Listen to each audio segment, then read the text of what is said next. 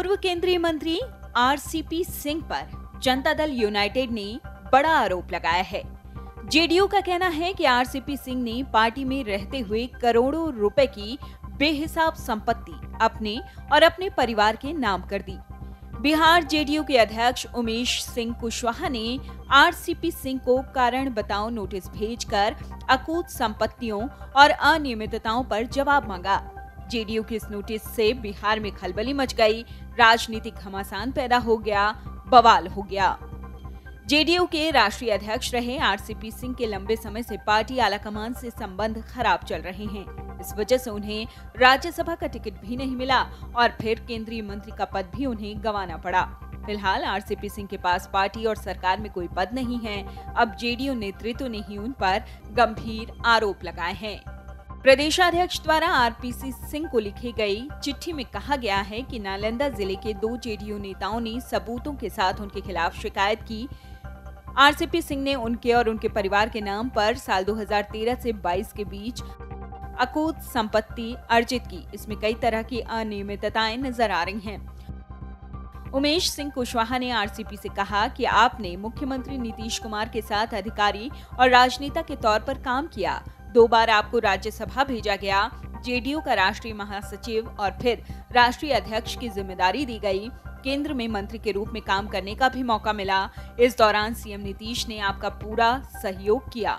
मुख्यमंत्री zero tolerance नीति पर काम करते हैं और इतने बड़े नेता होने के बावजूद उन पर कोई दाग नहीं लगा और न ही उन्होंने कोई संपत्ति बनाई है। जेडीयू ने अकूत संपत्ति के मामले में आरसीपी सिंह से जवाब मांगा है। प्रदेशाध्यक्ष उमेश सिंह ने कहा कि वो जल्द से जल्द उनके और उनके परिवार से जुड़ी संपत्तियों के मामले में अपनी राय स्पष्ट करें। इस नोटिस में कहा गया है कि अब तक उपलब्ध जानकारी के अनुसार आपके और आपके परिवार के नाम से साल 2013 से 22 तक अकूत संपत्ति बनाई गई है। आप लंबे समय से जनता के सर्वमान्य नेता नीतीश कुमार के साथ अधिकारी और राजनीतिक कार्यकर्ता के रूप में काम करते रहे हैं। आपको बता दें कि आरसीपी सिंह के बीजेपी में जाने की भी अटकलें लग रही थी। माना जा रहा था कि आरसीपी सिंह जिनके रिश्ते जेडीयू अध्यक्ष से सही नहीं हैं, साथ ही नीतीश कुमार से भी खराब हो गए हैं वो अब बीजेपी ज्वाइन कर सकते हैं। खबरें इस तरह की उड़ती हुई कई दफे आई। हालाँकि उन्होंने इस बात से हमेशा इनकार किया।